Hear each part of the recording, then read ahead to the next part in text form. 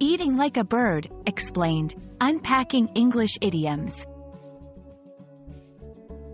Hello, everyone, welcome back to our channel. Today, we're diving into a fascinating English phrase that you might have heard, eating like a bird. This idiom paints a vivid picture, but what does it actually mean?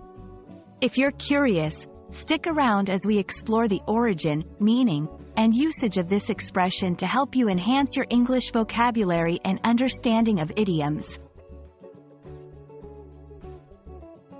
The phrase, eating like a bird, refers to eating very little food.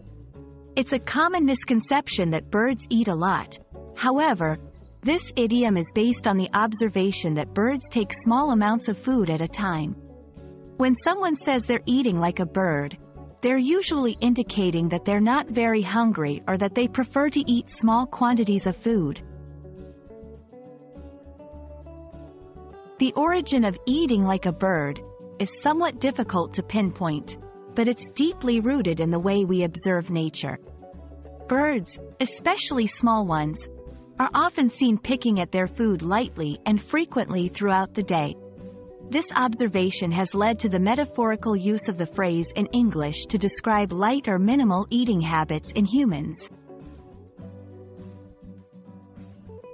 Understanding how to use this idiom correctly can help you sound more like a native speaker. Here are a few examples. After recovering from a stomach bug, Mia said, I'm only eating like a bird because my appetite hasn't fully returned. During the dinner party, Jack noticed his friend barely touched her food and asked, Are you eating like a bird on purpose, or is something wrong? In a discussion about dieting strategies, Leo mentioned, I've started eating like a bird in the evenings to cut down on calorie intake.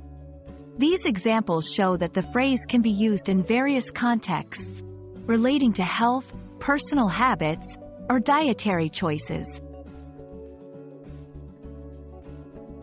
Learning idioms like eating like a bird is crucial for mastering English. Idioms add color to our language and can express complex ideas in a few words. They are a key part of sounding natural and understanding the cultural nuances of English.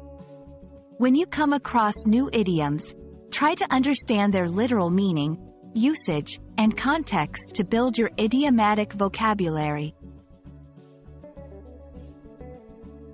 We hope this explanation helps you understand what it means to eat like a bird and how you can use this idiom in your conversations.